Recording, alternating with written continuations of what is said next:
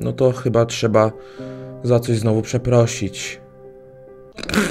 Powiedział każdy youtuber kiedykolwiek, kiedy coś odwali i musi nagrać filmik, w którym przeprasza i jest mu przykro. Seba Gała. Zapraszam. Kamil Bielacki mieszka razem z mamą Klarą. Jego pasją jest gra w piłkę nożną. Mama Kamila wychowuje go sama. Pracuje jako sprzątaczka. Wierzyłem, że piłka będzie dla mnie przepustką do lepszego życia. Dlatego ostro trenowałem. Generalnie wierzyłem, że piłka noża to jest przepustka do lepszego życia, dlatego zacząłem brać sterydy. I teraz nie mogę mieć dzieci. Kamil od małego miał dryg do piłki nożnej. Z nauką też super sobie radził. Jak potrzebowałam jego pomocy w pracy, chętnie mi pomagał, nigdy nie odmawiał. Dlatego to, co zrobił, w życiu bym nie pomyślała, żeby mój syn mógł coś takiego zrobić. Kamil w kolejnym meczu zdobył zwycięskie punkty dla swojej drużyny. Skoro ten Kamil jest taki niesamowity w piłce nożnej, ja tutaj absolutnie nie dyskredytuję tego. Ja już go widzę za dosłownie te 10-15 lat, ja już go widzę na reklamach w całej Warszawie, jak reklamuje no, nowe zegarki Huawei. Panie Robercie Lewandowski, wystarczy, pan jest dosłownie na każdym plakacie możliwym w Warszawie. Wy- Wystarczy. Razem z kolegami świętuje sukces. Nagle jego dobre samopoczucie popsuł widok nauczycielki od matematyki, która rozmawiała z trenerem. To jest chyba dość naturalna reakcja każdego ucznia w polskiej szkole. Psuje się humor w momencie, gdy się widzi swoją nauczycielkę od matematyki. Przyszłam odebrać syna po zajęciach w klubie i skorzystałam z okazji, żeby porozmawiać z trenerem i poinformować go, że Kamil strasznie opuścił się w nauce. Nie przyszłam prywatnie odebrać mojego własnego synka z zajęć z piłki nożnej, a i przy okazji podpierdolić tego Kamila gnoja za serańca jednego, który źle się uczy. Sprawiał wrażenie, tak jakby interesowała go tylko piłka i nic więcej. Jako wychowawczyni nie mogłam tego tolerować. Jako wychowawczyni nie mogę tolerować tego, że uczniowie mają jakieś pasje i hobby. A p- nie! Podczas rozmowy z trenerem Kamil usłyszał, że jeśli nie poprawi ocen w szkole, to nie zagra w kolejnym meczu i nie dostanie się do kadry młodzików. Swoją drogą zawsze mnie bawią te nazwy tych zespołów młodzieżowych, generalnie dzieciaków grając w piłkę nożną, piłkę nożną, wiecie, jak tam Korona, Góra Kalwaria, Schaby Piaseczno. Sprawdźcie, to są prawdziwe nazwy zespołów. Po wyczerpującym treningu Kamil wraca do domu. Wieczór spędzi na pisaniu wypracowania z polskiego. Generalnie Kamil lubi piłkę nożną i możemy to rozpoznać nie po tych 30 plakatach za jego głową z piłkarzami, pucharami, nie po tej piłce leżącej na, na, na szafce, nie, nie, nie, nie. Można poznać po Kamilu, że lubi piłkę nożną po tym, że jest debilem. A, i obraziłem właśnie większość Polski. Żarty. Seba, uspokój się. Nie bij, błagam. Co, dalej nie mam prądu? Nie mam, Myszko, nie zapłacili mi. Czekaj, wiesz co, nie zamknąłeś, że je zamknę za tobą.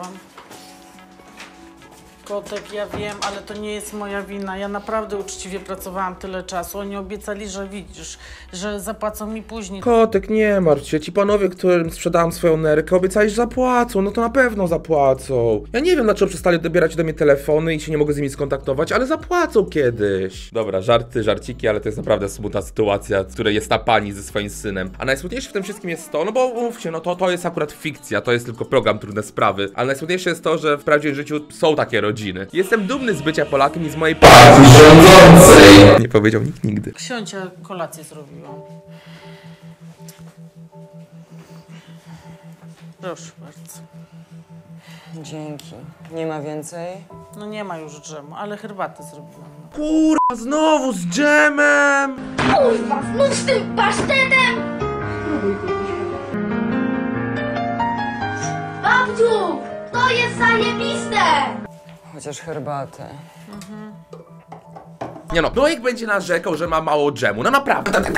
Na miejscu tej mamy dawałbym mu ch- chleb z bułką w środku, że będzie narzekał gnojek kiedy. Ży żyły wypruwam dosłownie, a on narzeka jeszcze. Kocham mamę i nie chciałem jej martwić narzekaniem, ale perspektywa odrabiania lekcji przy świeczce była wkurzająca. W końcu się zmusiłem i napisałem to cholerne wypracowanie. Chyba nawet mi poszło, bo polonistka mnie pochwaliła i wystawiła mi dobrą ocenę. Kamil przyszedł po lekcjach do klubu. Ma jeszcze trochę czasu do treningu, więc wykorzystuje go na naukę. Co ty, chory jesteś? Nie latasz z piłką po boisku, tylko wkuwasz? Co ty kurwa? Popierdzieliło cię kompletnie, już w szkole się uczysz? Ty chory jakiś ty! Debil. Zgłupiałeś? Nie udawaj, że jesteś taki pilny. Odszczykaj to. Ała! Zostaw go! Podobało mi się strasznie, jak Kamil zaatakował tego chłopaka i jest to zbliżenie, jak go trzyma za piersi. Jak się przyjrzycie minie tego chłopaka i temu, że Kamil trzyma go za piersi, wydaje mi się, że ten chłopak nie, nie jęczy z bólu, ale z rozkoszy. Co wy sobie wyobrażacie? Że gdzie wy jesteście? Swoją drogą ta gra aktorska. Ała, Kamil, przestań. Ała. To jest klub sportowy. Ja wam wybiję chyba z głowy takie zachowania. Reakcja Kamila na to. Chwila, to, to jest klub sportowy? Jezu, ja myślałem, że biblioteka. Prze, przepraszam, ale, ale jestem naćpany. Przepraszam, ja już wychodzę. Przede wszystkim nie toleruję agresji i chamstwa. A wy co robicie? W takim razie, proszę bardzo, zapraszam na rozmowę, za mną. Nie toleruję agresji i chamstwa. I jeb muka temu i drugiemu muka. Kamil czeka na rozmowę z trenerem. Jest zdenerwowany. Zdaje sobie sprawę, że ostatnio za często mu podpada. Widzisz to boisko? Jest piękne, prawda? Ten trener brzmi jakby dosłownie kochał to, to boisko. Uprawia z nim co wieczór seks. Jak już nikogo nie ma, on się rozbiera i zaczyna uprawiać z tym boiskiem seks. Nie pytajcie mnie, nie wiem jak to działa, ale on to robi. Tak bardzo kocha po boisko.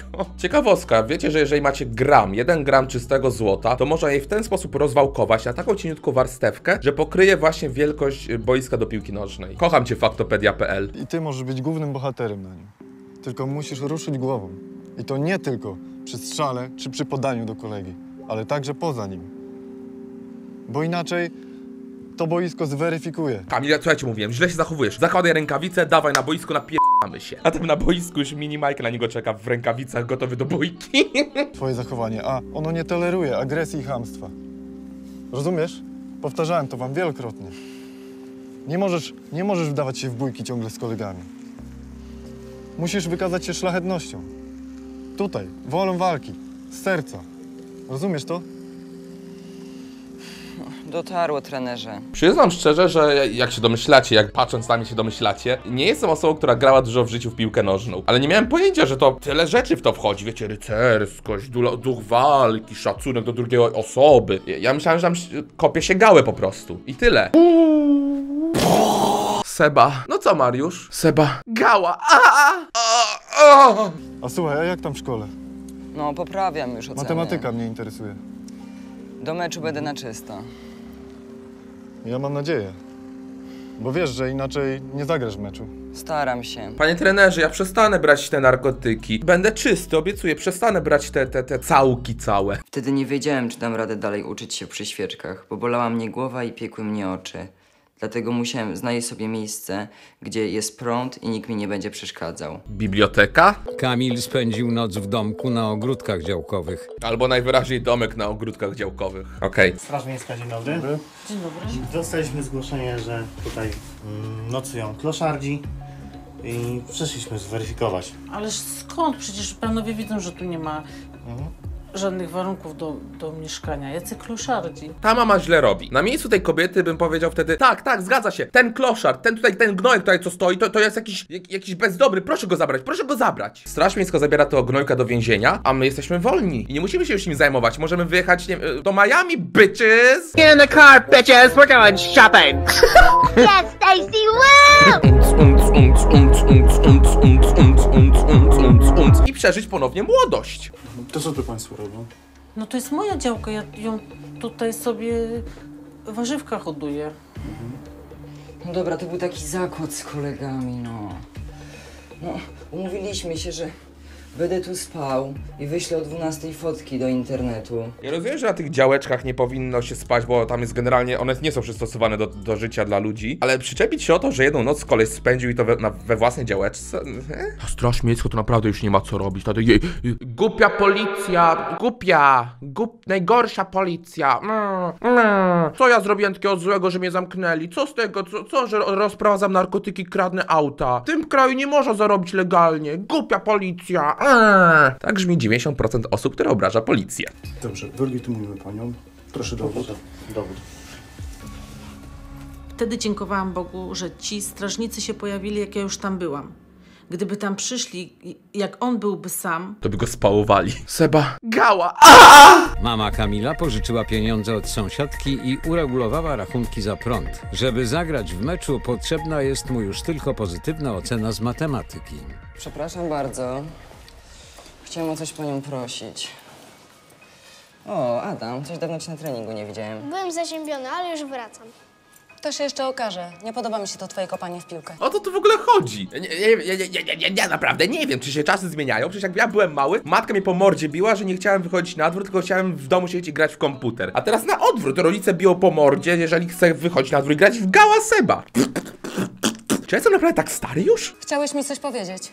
Chciałem bardzo panią prosić, mógłbym poprawić te oceny. Że co? No proszę, dwa sprawdziany. Jak ty to sobie wyobrażasz? Już wszystko umiem. I co, myślisz, że teraz przyjdziesz i będziesz poprawiał?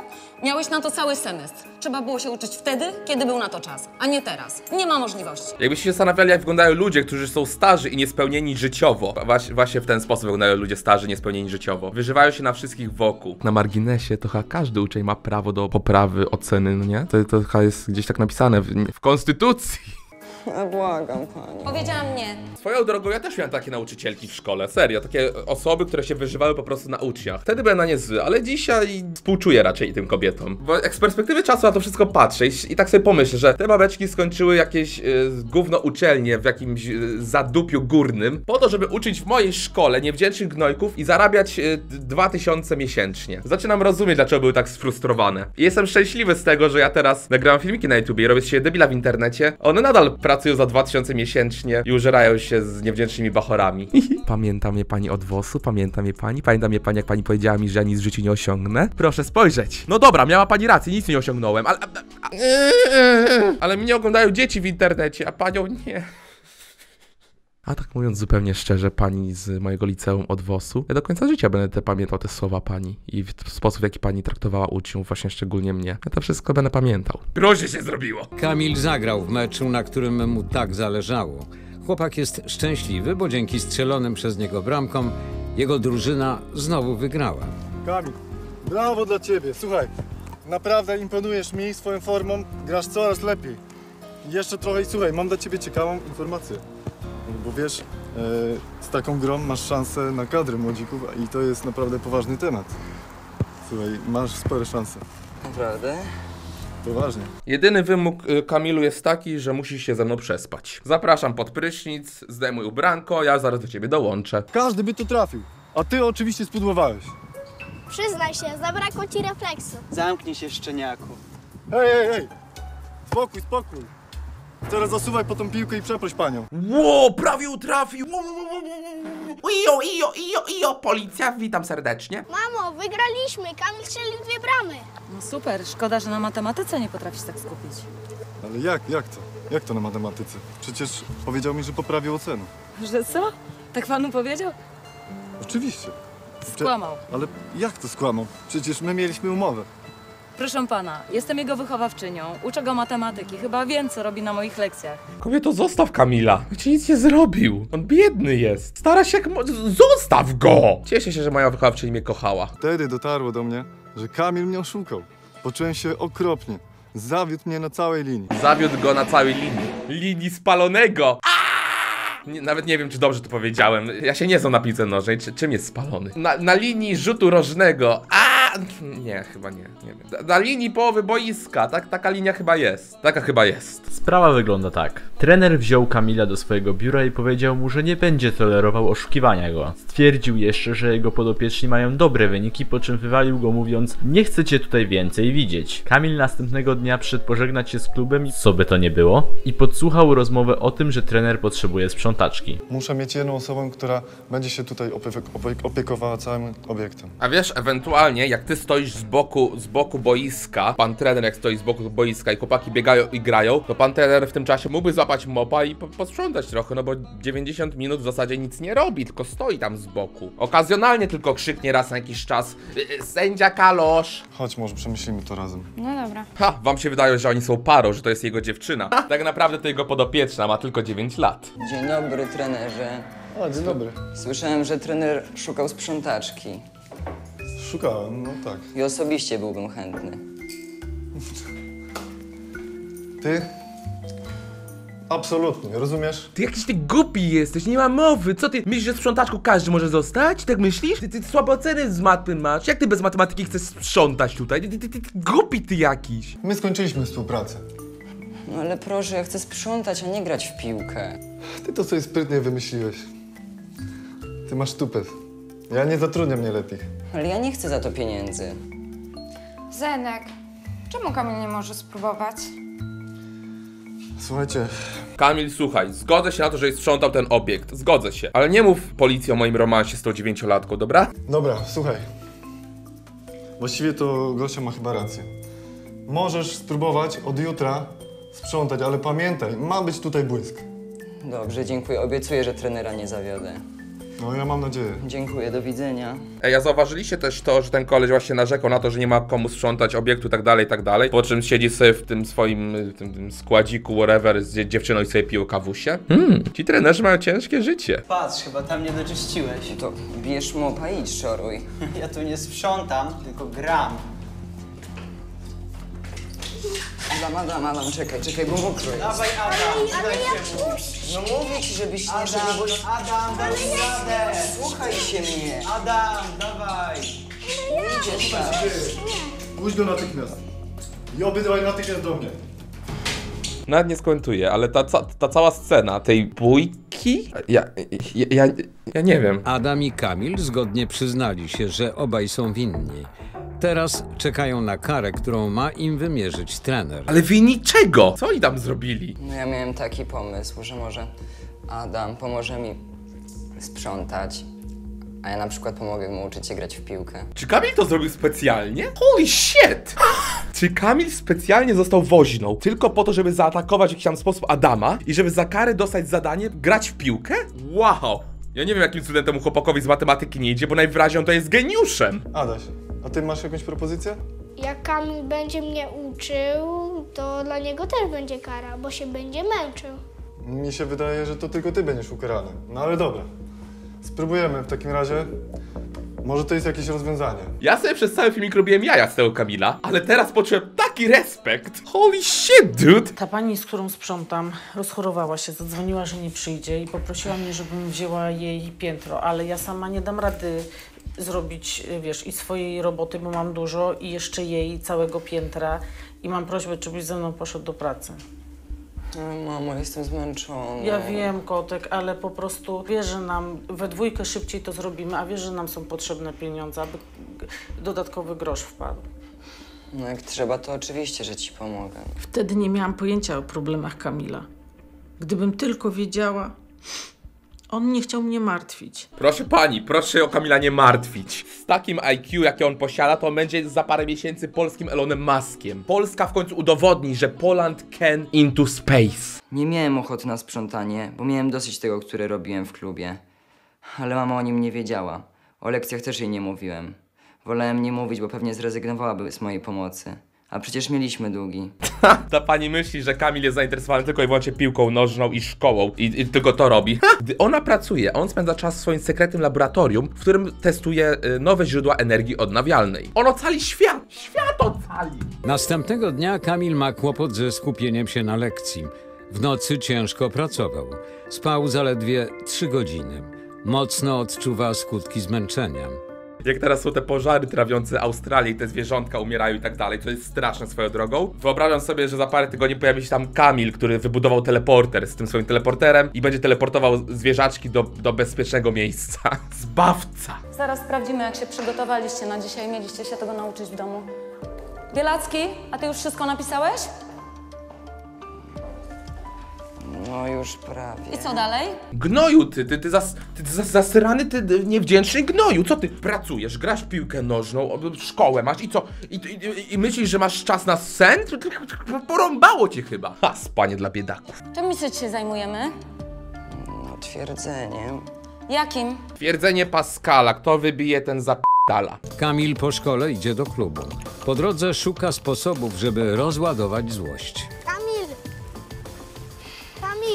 Pokażesz mi dzisiaj, jak okiwać obrońcę? Podbiega do gnojka i łamie mu kręgosłup. Może... Bo ja wczoraj oglądałem w sieci fajne, fil, fajne filmiki, fajne y, rzeczy gościu pokazywał. F- Fajne filmiki oglądałeś, Adasiu. A La Carduma kojarzysz? Kamil, poczekaj, bo jeszcze czytam o specjalnych odżywkach dla piłkarzy. No są takie. A słyszałeś o popiele? Nie, o popiele nic nie słyszałem.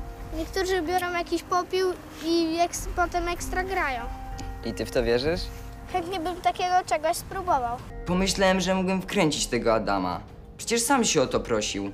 Przy okazji mogłem się odegrać na jego wrednej matce. Albo mi się wydaje, albo trutkę na szczury mu da. Przez kilka dni Adam nalegał, żeby Kamil pomógł mu załatwić specjalny popiół, którego używają piłkarze, żeby lepiej grać. Ale że co, że ten popiół do butów się sypie? Czy na buty, żeby się nie ślizga... Co? Co powiedziałeś w domu? Że idę do kolegi, mieszka tu niedaleko. Dobra.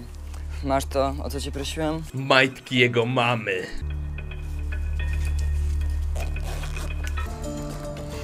Dobra. Za dwa dni pani w laboratorium przygotuje odpowiedni dla ciebie popiół. Będzie to idealny dla ciebie popiół, najlepszy jaki ci mogę zrobić. Będzie zrobiony z twojego DNA z włosów. Więc myślę, że twoja gra w piłkę znacznie się poprawi. Ja, ja czaję, że to niby ma być taki cały przekręt, żeby to gnojka wkręcić, żeby się odegrać, odegrać na jego mamie matematyczce. Ale szczerze, biorąc pod uwagę IQ Kamila, zaczynam wierzyć, że możliwe, że naprawdę istnieje taki popiół. I że on da ten popiół Adamowi, temu małemu. Tak, zaczynam w to wierzyć. W rozgrzanym popiele piekli ziemniaki. Teraz postanowił go wykorzystać. No i znowu psiarnia, no. Co tutaj robisz? Nic. Nic. Dobra, pokaż to tutaj. Czy naprawdę Straż Miejska nie ma w tym kraju co robić, niż szczepiać się ludzi, którzy są dosłownie na swojej własnej, swojej własnej działce? Równie dobrze ten koleś mógł po prostu sprzątać og- ognisko, nie robić nic podejrzanego. The fuck? Mówię panu, że to tylko popiół. Co to jest za świństwo? Dopalaczy z tego robisz? Popatrz na mnie, dziecko.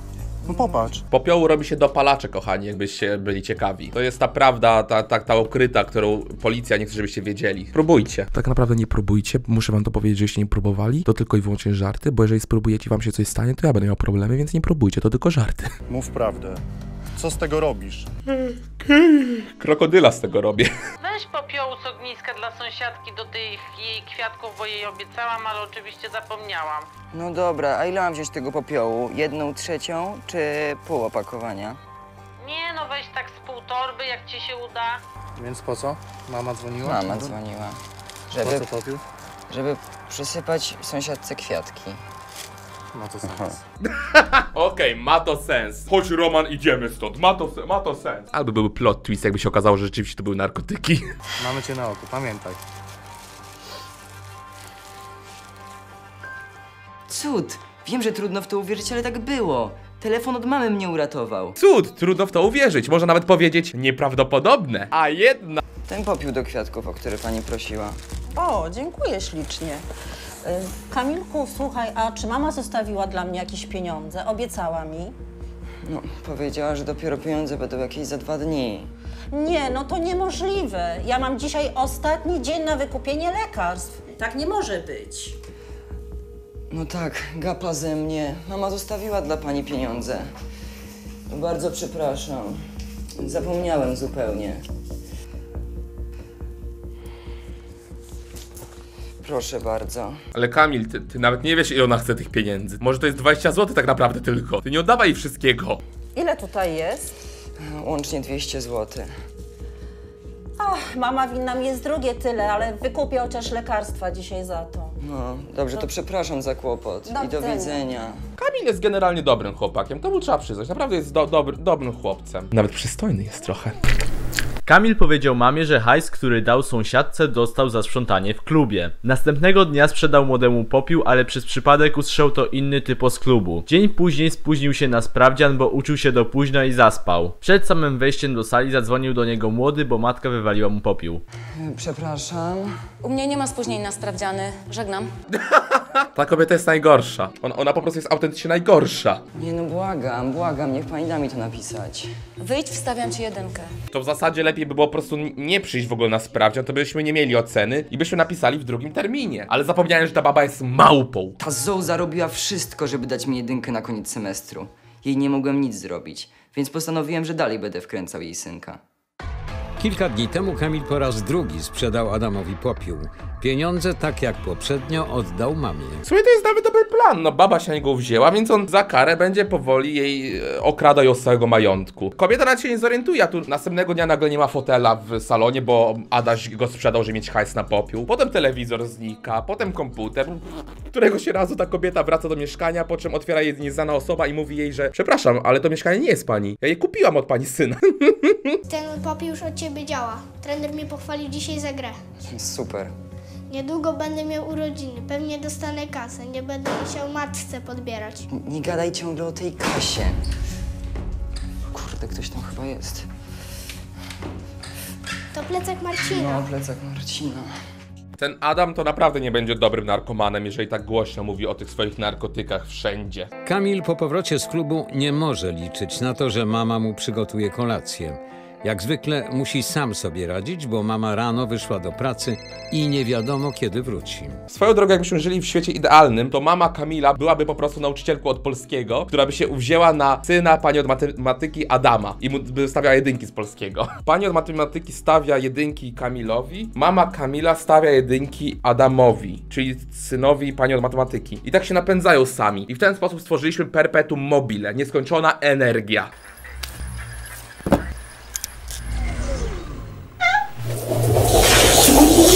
Nie przedłużyli mi umowy i nie zapłacili.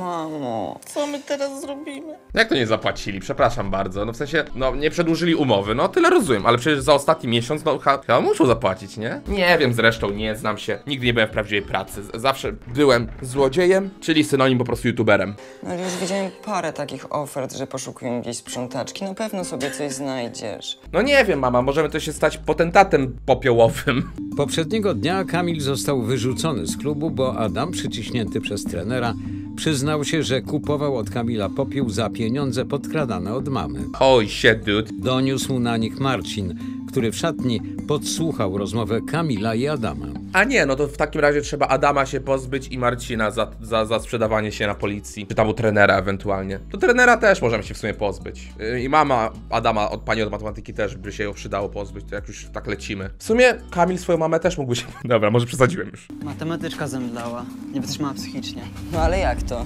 No, Adam nie wrócił do domu na noc. Smutna rzeczywistość, kochani. Adam uzależnił się od popiołu i wyruszył na miasto, żeby szukać dealerów popiołu. Kolejny piękny talent stracony przez narkotyki.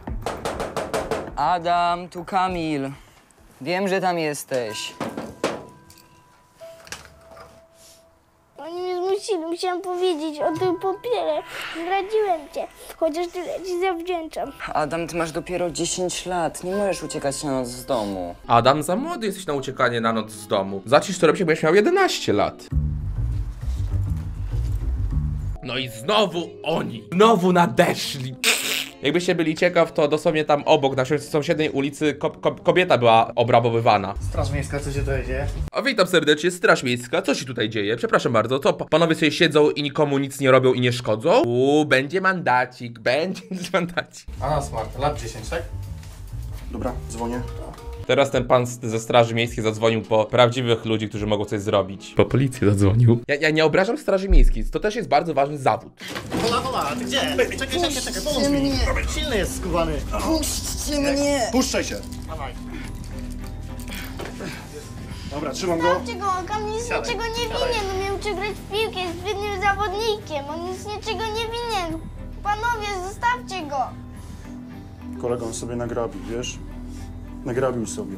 Zakład z kolegami. Cały ten popiół. Teraz próba ucieczki. To wy, wymaga wyjaśnienia. Idziemy na policję. Poczekamy na policję, na karetkę przyjadą. Zaczniesz mówić. A jak nie zaczniesz mówić, to nogi zaczniemy łamać. Następnego dnia Kamil dowiedział się w szkole, że został zawieszony w prawach ucznia. Wrócił do domu i próbuje się uczyć. Oj, oj, oj, ktoś tutaj źle chyba ubrał panią do tej roli, bo jak zauważycie, to ona ma teraz na tyłku, z... Kryspin zrób zbliżenie proszę.